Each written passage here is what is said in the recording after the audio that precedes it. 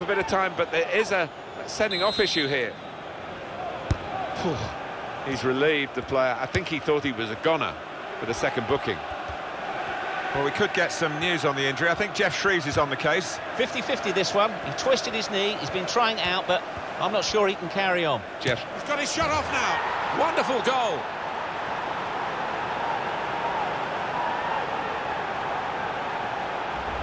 A goal from Kagawa. And what a finish this was. Really did put his boot through it to find the left-hand side.